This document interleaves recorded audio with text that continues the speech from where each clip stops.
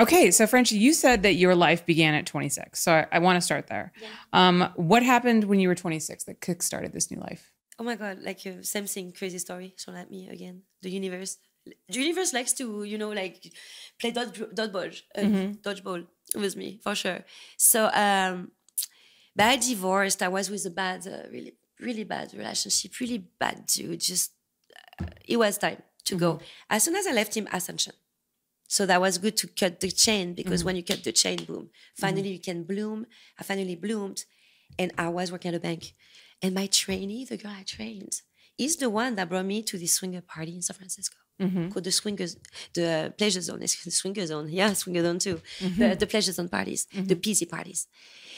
And so I'm being brought to what I thought was a lingerie party. It was definitely not a lingerie party.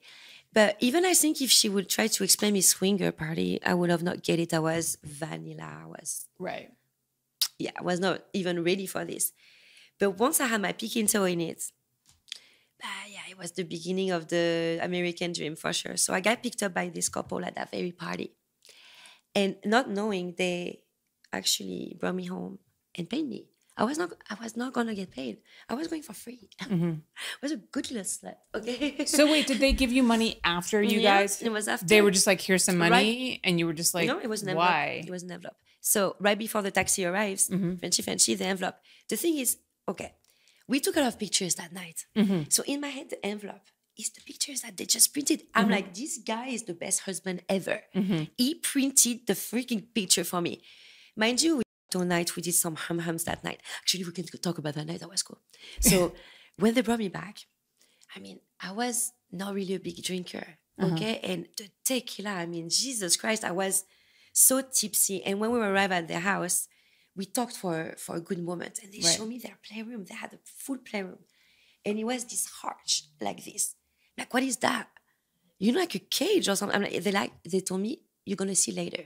Now I was actually scared. I'm like, okay, are, are those weird cop type of couple that's gonna keep me in a cave or something? Yeah. Because what is this arch? And I see the and I see, I see like this, room is, is just like inspiring me, like uh, something I never seen. Yeah. so after really getting comfortable with each other, we go to that room. He's like, now I'm gonna show you. So he tied her up. He actually tied her up.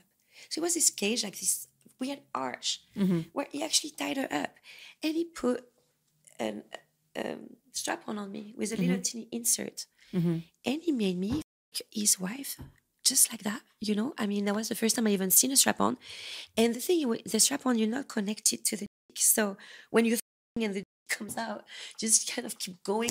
Yeah. it, it wasn't. Strap-ons are not that easy to use. Like they take some practice. Yeah, for sure. Yes. So imagine my first time. Yeah. Oh, plus, it was a small insert. I'm pretty much. I'm pretty sure it was for a butt or something. It was so, so I remember looking at it and clearly feeling what it felt for a man to look at a, a small dick. Yeah. It was just this little teeny thing, yeah. But uh, no, they made me do some some crazy stuff. But she was tied up. He cracked her penny. He put it in her mouth and gagballed her. And then we, we did all, all type of dirty stuff. But he left her like that and me on the floor. And that I was like coming, coming, coming. It's just Uh-huh. that was so kinky and so like just deviant. Yeah. But in a way that I'm like, it was new to me. and Uh-huh. I liked it. I'm like, okay, maybe I'm weird actually. Uh-huh. Maybe I like I, what I liked. I didn't know I liked. Right. So this is why when I had my pinky toe, I'm like, wait, I had three out of this night and money. So again, when they pay me, I don't know. It was a picture, and as a matter of fact, I didn't even know it was money until way after. Yeah. Hours and hours and hours after. So yeah. No, no, no. It was not a money thing at first. Yeah. Right. So what was your reaction when you opened the envelope and you saw money? Mortified. Were you so you were you were embarrassed? like, I, like super confused. Mortified is not the big the, the, the right word. I think confused. Like Confused, confusion, like right. really took over me. Like mind you, we got intoxicated. Did he give me the wrong envelope? Are they Yeah. gonna did, this, did are they gonna think I, I stole from them? So I called them like, hey, hey, like I didn't steal from you guys. Like, and so I'm talking about the picture, like, hey, you guys, why there is you know money inside of the picture? Yeah. They don't they, they confused. I'm confused, you know. So now they're even more confused. Finally, we getting everything right. Like, Frenchie, why aren't you working? Eh, no. Eh, but no, not at all. I was not working that night. I Yeah. was at a party. Simply, that Yeah. changed the whole direction of absolutely everything. So you were like, I can have have a good time and I can get paid for it. And it was like a revelation. in one night I made what I would make in one month. So it was ridiculous. Can I ask you how much it was? It was twenty five hundred bucks. Wow. Which at the bank, this is what you make with commission. I mean, may, maybe a little bit more at the bank. Come on, a little bit more at the bank. But yeah. are you kidding me? Um, I was in debt, so Yeah. I could pay all my debt and go to bebe and buy like bunch of bebe clothes. So that was that was that was quite awesome. Yeah, yeah, yeah. Wow. Yeah. Hey guys, if you want to support my show, then you should think about joining my Patreon. At my Patreon, I offer all kinds of amazing perks in exchange for your financial support.